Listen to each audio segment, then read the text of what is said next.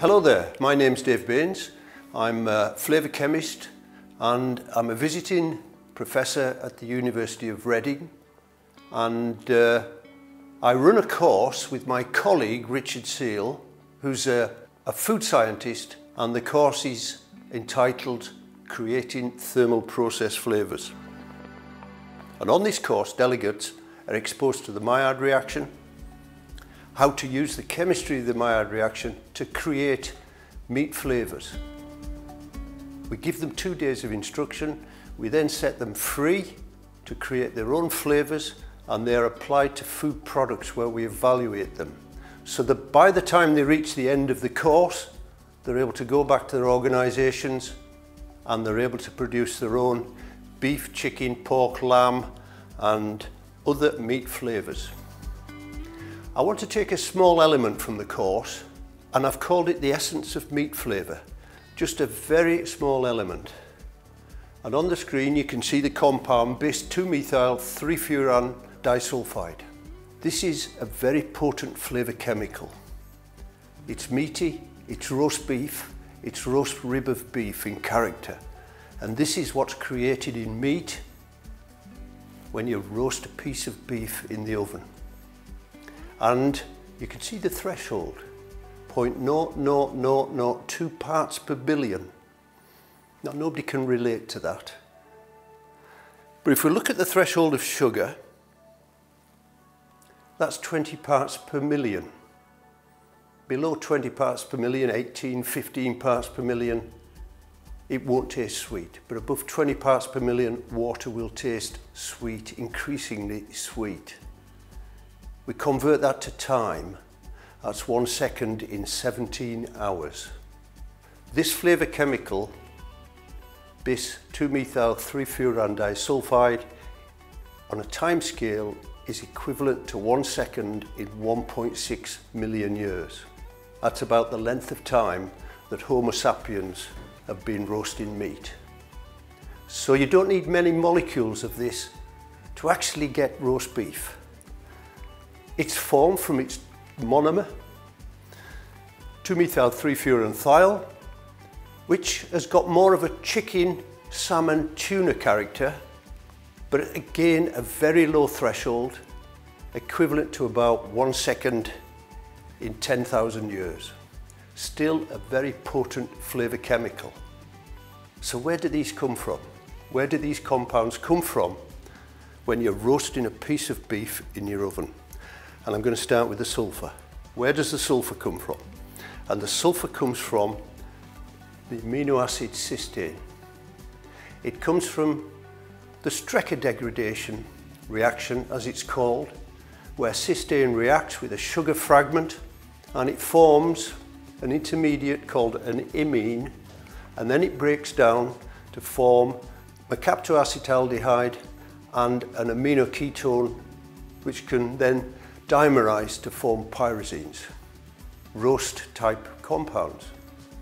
But the route we want it to take is a very specific route for this reaction to form the hydrogen sulfide that we need. This is the powerhouse of meat flavour. This is the engine room where hydrogen sulfide is produced and ammonia. And it's that hydrogen sulfide which is incorporated into the flavour chemicals that form meat flavour. And the ammonia is incorporated into compounds like thiazoles that form the roast character. So cysteine is one part of it. Back to the molecule, where does the carbon skeleton come from? Where does the framework come from? And now we look at the Maillard reaction and we're starting with raw meat. Raw meat contains RNA, ribonucleic acid, which breaks down to ribonucleotides with enzymes, and it liberates ribose. And this is the other half, the reaction between cysteine and ribose. Now ribose reacts in the Maillard reaction to form what we call a 1-deoxyosone, and that is because the one carbon doesn't have an oxygen function on it, as we can see. This cyclizes to form a compound called norfuraneol and this is then hijacked by hydrogen sulfide to form the methyl methylfuranthiols that are the root of meat flavour and then these can be oxidized to the dimer. So that's where this compound is formed in the Maillard reaction. But that's not the end of the story because it's also formed by other means. The thermal degradation of thiamine. Thiamine's a loner, it breaks down on its own. It doesn't need anything to react with. Under the pyrolysis conditions in, in the oven, when beef is being roasted, the thiazole ring breaks open and a fragment drops off. A hydroxymercaptan ketone is formed. This cyclizes and lo and behold, we get 2-methyl-3-furanthiol and we then get the bis disulfide, the very powerful compound. So isn't, isn't that amazing that it's formed from two roots? What a massive coincidence, but the story isn't over. Thiamine is vitamin B1. We've also got ascorbic acid, vitamin C in meat. And reaction of ascorbic acid with cysteine forms a series of sulfur compounds, one of which is our 2-methyl-3-furanthiol. And ascorbic acid exists in two forms, as dehydroascorbic acid. And as dehydroascorbic acid, it oxidizes these compounds to form the dimers. And once again, we get our bis disulfide, our powerful, potent beef flavour compound being formed from three roots. Isn't flavour chemistry amazing? Just summing up, ribonucleotides produce the ribose, which produces the norfuraneol. The norfuraneol reacts with hydrogen sulfide to form 2-methyl-3-furanthiol. It can react with other things like methane thiol from methionol to form another meaty compound. But it's also formed by the breakdown of thiamine and by the reaction of ascorbic acid.